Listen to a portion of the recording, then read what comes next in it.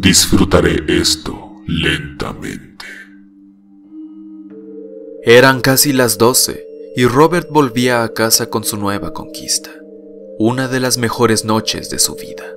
Sin duda alguna, la suerte le había sonreído esta vez.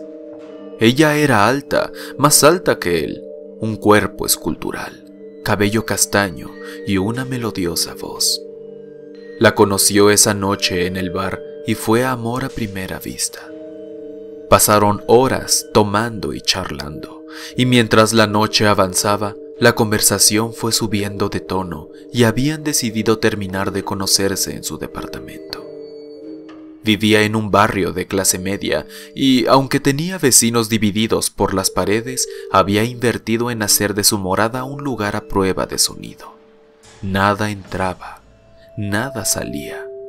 Así podía divertirse hasta altas horas de la noche escuchando su música favorita.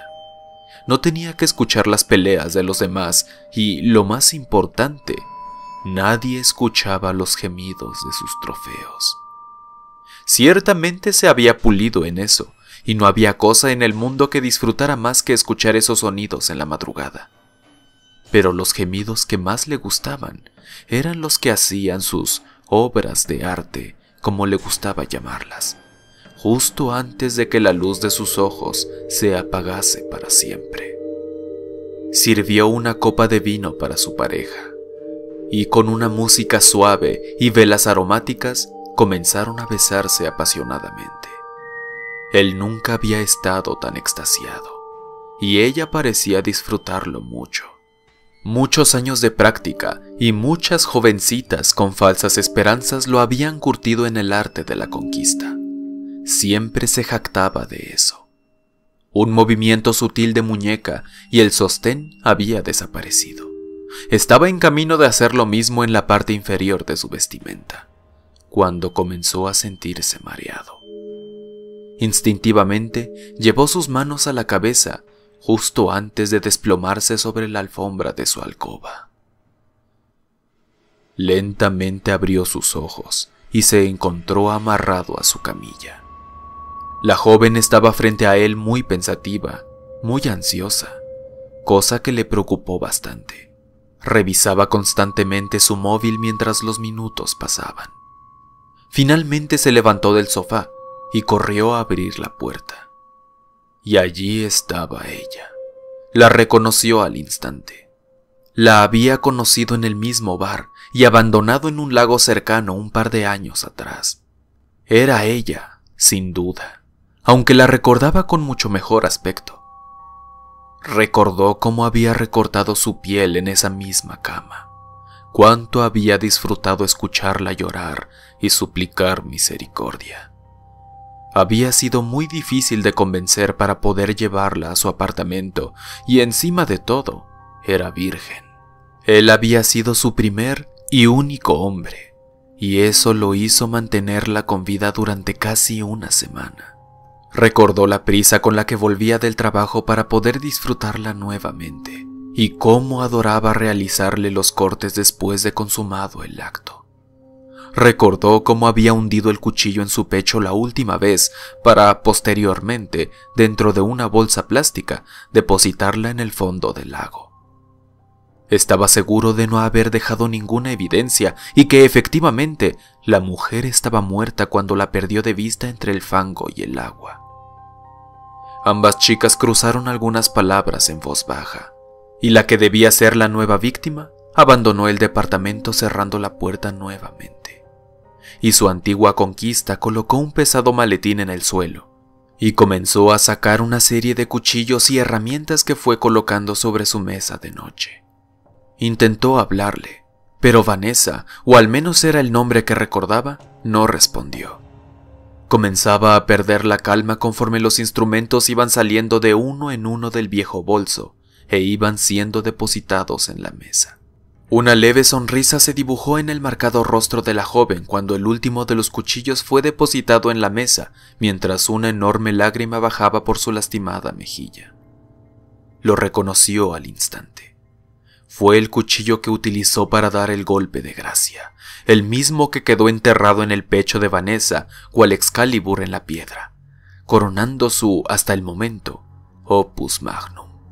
Solía dejar el arma homicida en el cuerpo de sus víctimas, como una burla a los investigadores, y pasaba horas imaginando el momento en que eran extraídas de los cuerpos de sus preciados trofeos y llevadas a realizar todo tipo de pruebas para nunca encontrar la más mínima pista. Intentó dialogar otra vez, pero su primera palabra se convirtió en un enorme alarido cuando la mitad de los cuchillos había desaparecido dentro de su muslo izquierdo. Con todas sus fuerzas intentó librarse nuevamente, pero debió gritar una vez más cuando el resto del cuchillo desapareció tras un firme martillazo.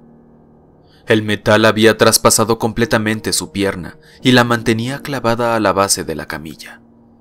La pierna derecha no se mantuvo intacta por mucho tiempo.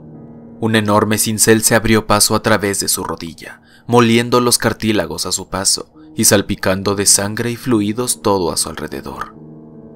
Gritó con todas sus fuerzas, mas no suplicó piedad. De alguna forma entendía que eso no iba a obtener misericordia, y que era un merecido castigo por todo el dolor que había provocado. Vanessa se levantó súbitamente y corrió hacia la cocina, trayendo consigo una enorme llave de cañería un par de minutos después.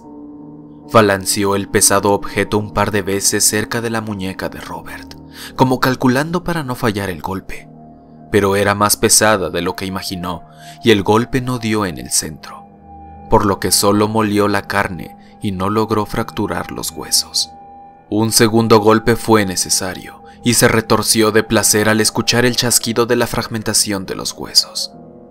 Balanceó la llave nuevamente, y mientras Robert profería el alarido de dolor por el segundo golpe en su mano, varios de sus dientes volaron y parte de su quijada quedó desprendida. El rostro de su victimaria había cambiado por completo, y la duda que reflejaba al inicio de la tortura había desaparecido completamente. Disfrutaré esto lentamente fueron las primeras palabras que escuchó de Vanessa antes de perder nuevamente el conocimiento. Palabras que él usaba antes de comenzar sus obras de arte. Despertó horas después y no podía mover sus labios. El sangrado había sido disminuido tal y como él lo había hecho incontables veces con sus trofeos. Su pierna ya no estaba clavada a la camilla, pero aún mantenía el cuchillo dentro de su carne.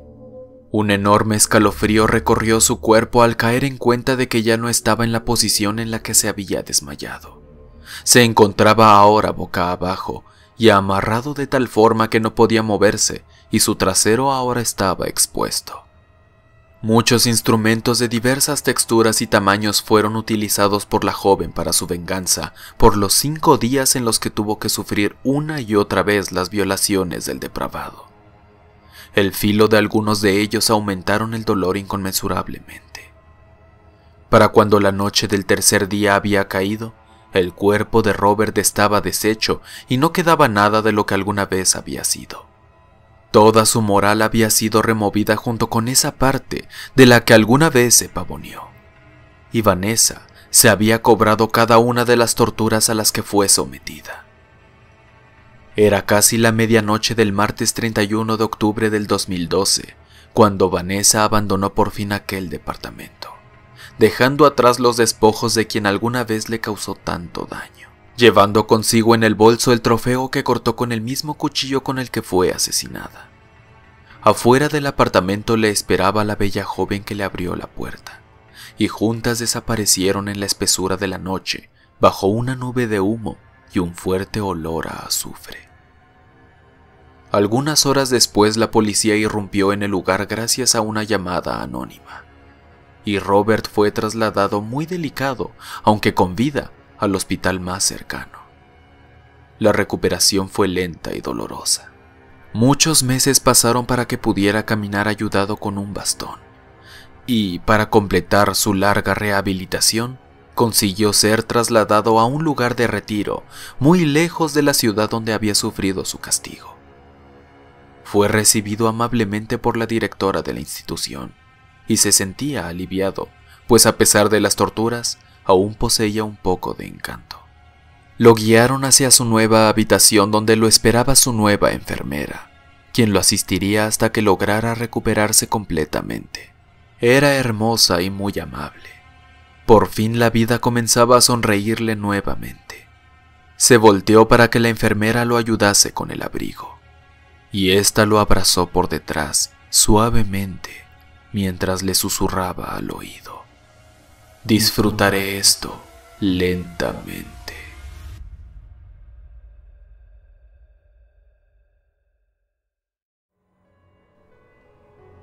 Únete a la oscuridad. Dale like, suscríbete y comparte para esparcir el terror.